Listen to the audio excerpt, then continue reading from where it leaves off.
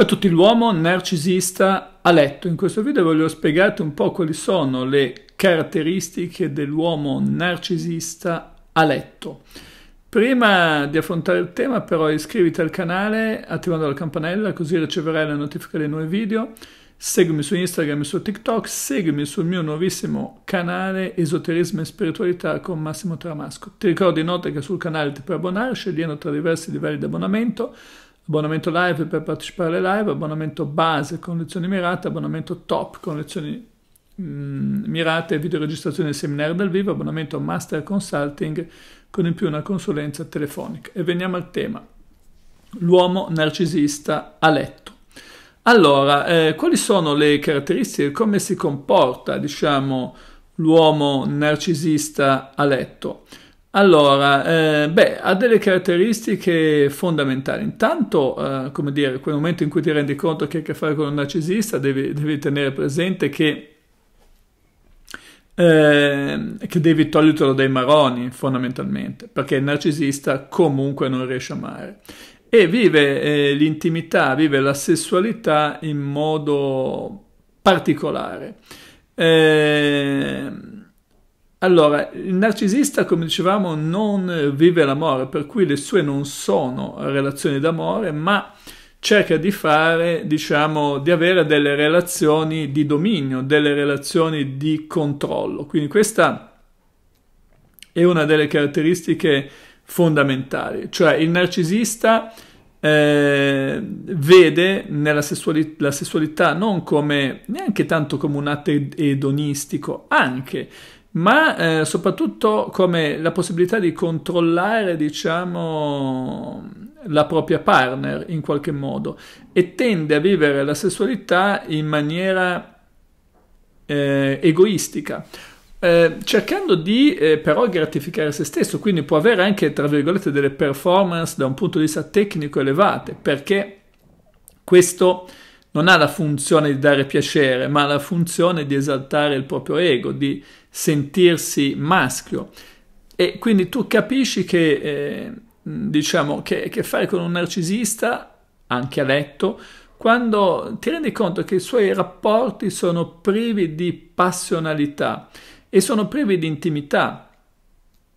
La sua attenzione è basata, diciamo, sulle performance, ma non finalizzata a darti piacere, cioè il tuo piacere non sarà qualcosa eh, che ha la funzione, diciamo, di gratificarti, ma la funzione di gratificare se stesso, cioè eh, gratificare quanto sono bravo, quanto riesco a controllare questa persona. Questo è il vero piacere.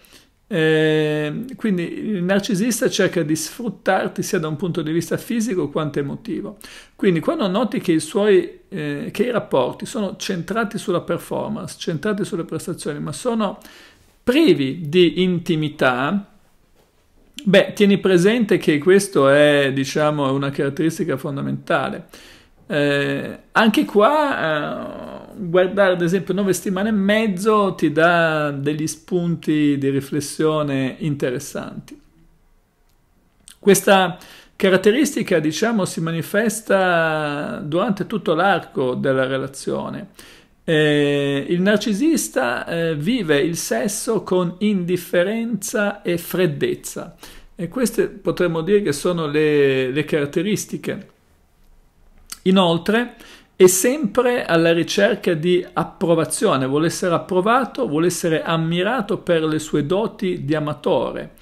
Eh, questo significa che se gli si rivolge una critica lui reagisce in malo modo, eh, vede la sessualità soltanto come una forma prestazionale, diciamo, dove le sue doti devono emergere e non, eh, non ha nulla, diciamo, di intimo, di creare un'unione anche intima con eh, quella persona.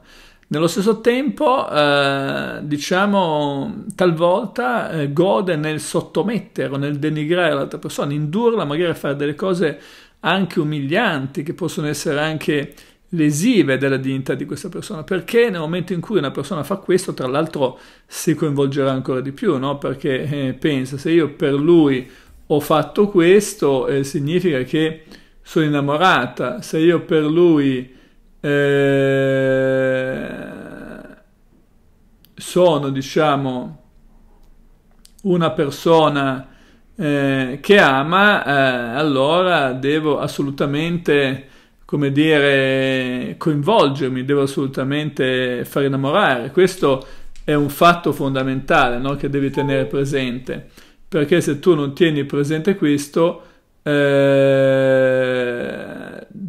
renditi conto che le cose eh, non, non, sono fatte con amore. Eh, quando una persona cerca di sottometterti, di denigrarti, eh, non lo fa mai per amore fondamentalmente.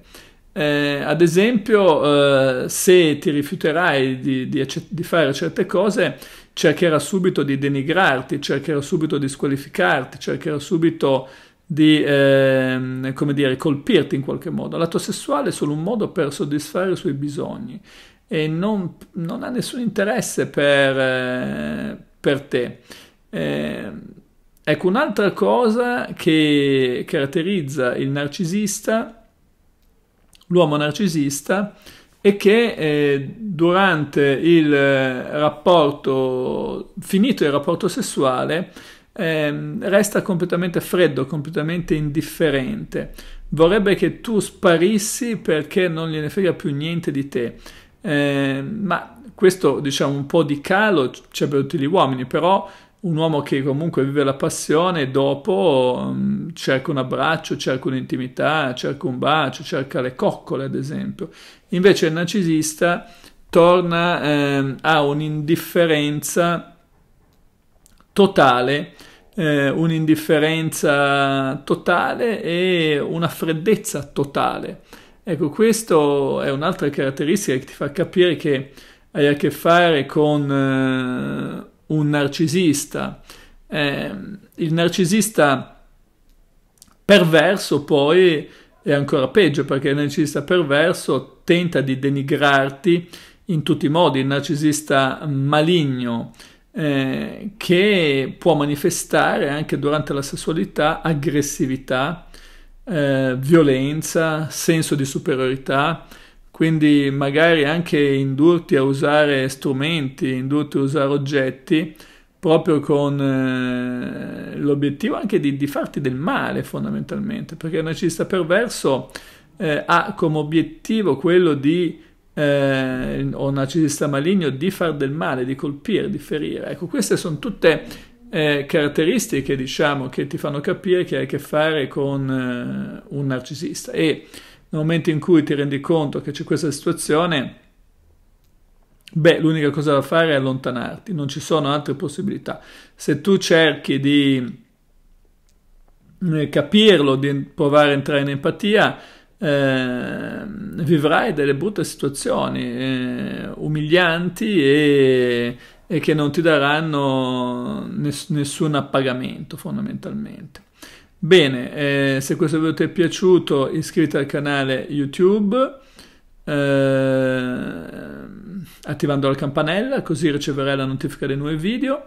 Ti ricordo che sul canale ti puoi abbonare, eh, abbonarsi è facile, basta andare nella home page, tastina abbonati vicino alla tastina iscriviti e ti ricordo di eh, iscriverti anche al mio canale, nuovissimo canale YouTube Esoterismo e spiritualità con Massimo Tramasco. Ovviamente seguimi anche sulla pagina Instagram Massimo Tramasco e sulla pagina TikTok.